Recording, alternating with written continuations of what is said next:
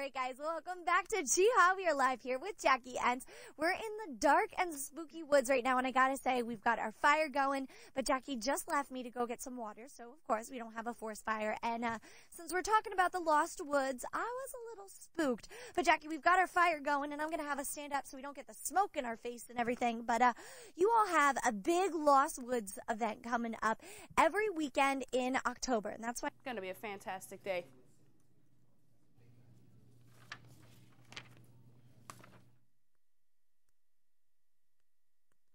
Right, guys, welcome back to Chehaw. We are live here with Jackie and We're in the dark and spooky woods right now, and I gotta say, we've got our fire going, but Jackie just left me to go get some water, so of course we don't have a forest fire. And uh, since we're talking about the lost woods, I was a little spooked. But Jackie, we've got our fire going, and I'm gonna have us stand up so we don't get the smoke in our face and everything. But uh, you all have a big Lost Woods event coming up every weekend in October, and that's why I'm here in September, so I don't get too too spooked because let me tell you, every little sound I was hearing, I was thinking it was a zombie.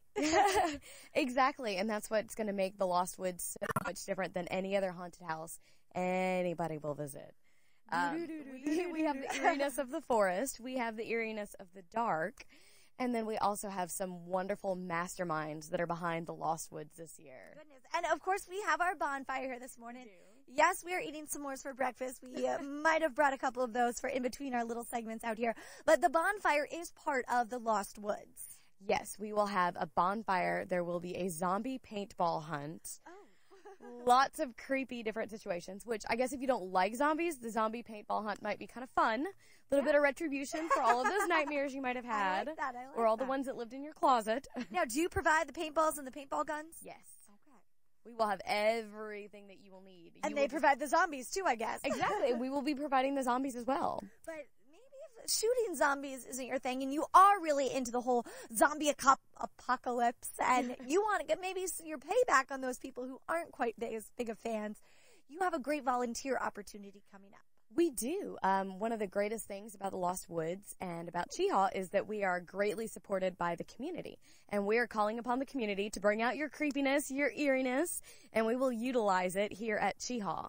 We are going to be depending upon staff and a whole group of volunteers to help us run the Lost Woods. So Now- if they're interested, they can come out and volunteer for one day, five days, 15 days, however long you want to come. Love it. You mentioned uh, volun- me, people who come here. You're recommending 11 and up. What about for volunteers? Is there an age group for that? Yes, volunteers are going to need to be 16 years of age and up. Okay.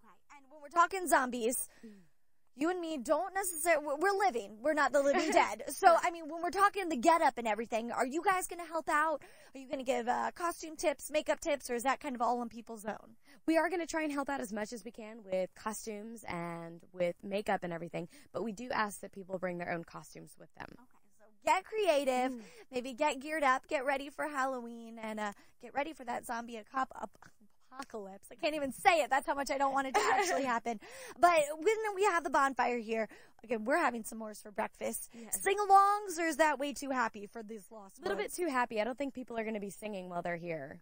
Instead, it's all going to be uh, ghost stories, some some pretty scary stories. We're going to tell you about that and what's going on here at Chehaw, the story that relates to that in just a few minutes. But first, Kelly, back to you.